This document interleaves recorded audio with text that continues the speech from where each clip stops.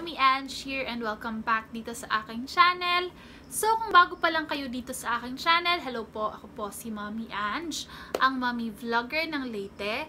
So, salamat sa inyong pagbisita dito sa aking channel. Sana hindi niyo po makalimutan na mag-like at mag-subscribe para mas marami pa kayong mapanood na videos dito sa aking channel. So for this video mga mommies, I'm going to share with you my thoughts and our experience dito sa Baby Dove. Ito siya guys, Baby Dove Hair to Toe Baby Wash, yung sensitive moisture na variant. So before I start with this product review guys, so disclaimer na muna, so hindi po ito sponsored video. And disclaimer lang guys, if ever man nag-work sa amin itong product na to, hindi ibig sabihin or hindi ko mag-guarantee na mag-work din siya sa baby nyo. Kasi hiyangan lang talaga yung mga baby products. Depende pa rin yun kung gaano ka sensitive or paano magre-react yung skin ng baby nyo. Yung Baby Dove Hair to Toe Baby Wash. So, sensitive moisture siya hypoallergenic and tear-free, suitable for babies who may be prone to eczema. So, created with no parabens, no phthalates, no sulfates, L SLES fragrance-free din siya. So, yan siya. Ito siya. Sensitive moisture. Uh, and a little background, guys.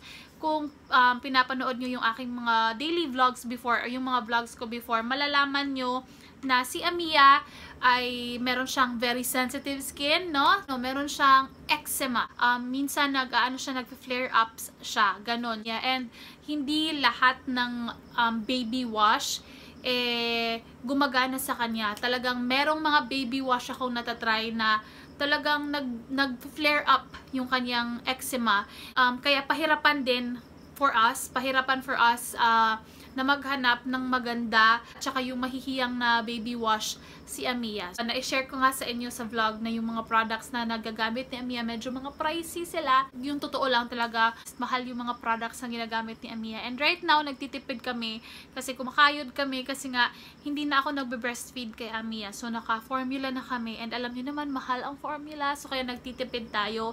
And yung ginagawa ko, naghahanap talaga ako ng mas cheaper option dun sa mga product na ginagamit namin namin. Naghahanap ako ng mga products na affordable at the same time hiyang kay Amias. And then na-try namin itong si Baby Dove, no, yung sensitive moisture na suitable for babies who may be prone to eczema. 200 ml lang to. This one is from Unilever, no? So, Baby Dove.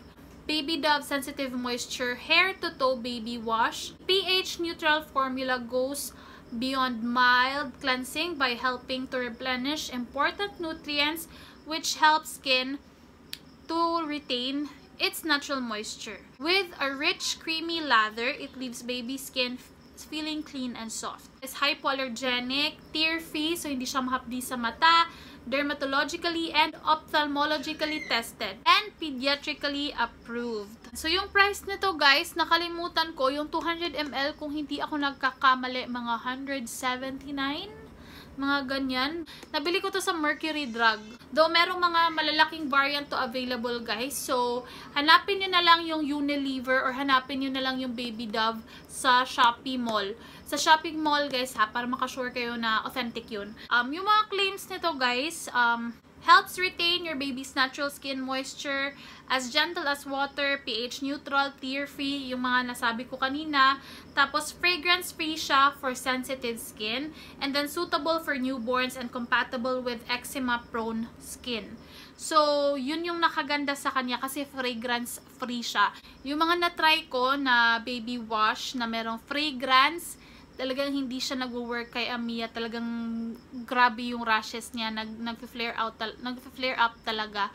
And itong Baby Dove, guys, um, nabasa ko na it has a creamy lather with 1/4 moisturizing cream helps restore essential moisture that the skin loses during bath time. And our experience guys dito sa Baby Dove, ito, hiyang si Amia dito guys. Actually, pangalawa na namin to. Pangalawa na namin to. Which is good kasi nakakatipid ako.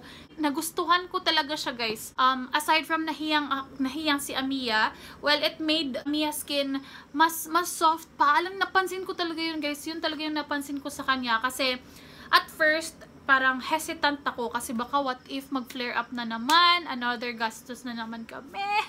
Alam nyo ganun. Pero napapansin ko talaga na okay naman si Amia. Hiyang siya from head to toe. Ang lambot niya sa skin as in all throughout the day. Ever since we started using itong Baby Dove, wala nang ganun si Amia. Hindi na siya nag-flare up. And I'm super super duper happy kasi mas napatipid na kami. And kailangan nyo lang talagang tandaan na when it comes to choosing yung mga baby wash or baby products or baby, yung skincare ni baby, talagang um, doon kayo sa may mga moisturizing na product kasi um, para makaiwas na mas maging sensitive yung skin ni baby, ganyan. Kasi kapag dry yung skin ni baby, dyan siya um, prone to rashes. Yes, ganyan siya. Yun yung pagkakatanda ko sa sinabi ng pidya ni Amia. Kapag dry yung skin, yan. So, kailangan kami always mag-lotion, ganyan. Kailangan moisturize yung skin para hindi mag-flare up, ganyan. And, dati kasi ginagawa ko 3 times a day ako naglo-lotion kay Amia. Ngayon, hindi, mas less na yung, parang mas less na yung maintenance ko, ganun. So, kailangan lang talaga, maghanap lang kayo ng baby products na um, moisturizing. Alam niyo naman kasi yung mga skin ng baby is mas thinner siya compared sa adult. Kaya mas mabilis na uh, mawala ng moisture sa skin ng babies compared to adults. So as much as possible, lalo na kami guys na si Amia is may eczema, as much as possible iniiwasan talaga namin yung may fragrance no. So dapat yung hinahanap namin is fragrance free na mga products. So, yun din yung maisa-suggest ko sa inyo no sa mga mommies diyan. So lahat naman ng babies no, all babies meron silang mga puro talaga sila delicate skin. Delicate pa yung skin ng baby. But if your baby has extra sensitive skin kagaya ni Amia, I suggest na um, dun kayo sa may mga fragrance-free na mga baby products or baby wash. Kagaya nito. Ito, I highly recommend this one na itry nyo, subukan nyo siya kasi nagagandahan talaga ako sa kanya guys. So again, yun nga aside from mas nakatipid ako sa kanya, aside from mura siya, affordable lang siya, nahiyang si Amia and um, it made Amia's skin mas soft pa, mas smoother. Or kung mako-compare nyo lang dati yung skin ni Amia ngayon, mapapansin nyo yun. Talagang mas smoother si Amia. Alam nyo, morena kasi si Amia, so hindi nyo masyadong mapansin. Pero, right now, mas smoother na yung skin ni Amia compared before na medyo rough, may mga dry patches, ganyan. And yung nagustuhan ko din sa kanya guys is yung packaging niya kasi kahit maliit siya, de-pump siya. So, hindi ako nahihirapan sa kanya um, kapag nagpapaligo ako kay Amia, lalo na ako na stay-at-home mom and uh, ako lang mag-isa nang nag-aalaga, so wala akong katulong. Hindi siya mahirap para sa akin na habang pinapaliguan ko si Emmy, wala akong assistant na magtigalagay ng sabon sa kamay ko.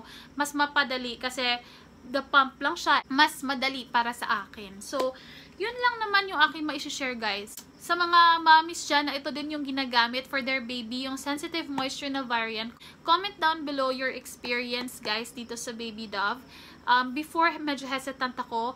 Pero, now na talagang nagamit na namin siya, ayan, ba diba, hindi ko pa nga siya ginawan agad ng review. Tinaamot ko na muna na ika na talagang matry and tested na namin siya before ko siya i-share sa inyo. At nagustuhan namin to. So, sana matry nyo din mga mommies, no? At sana mag-work din siya sa mga babies nyo. So, ayan. That is it for this video, guys. Sana na-enjoy nyo itong video na to. Sana nakatulong itong video na to. And if it did, please do not forget to hit like, guys. And subscribe kayo, please, kung hindi pa kayo nakasubscribe. So, ayan. So, maraming maraming salamat sa panonood, guys. And I hope to see you on my next vlog.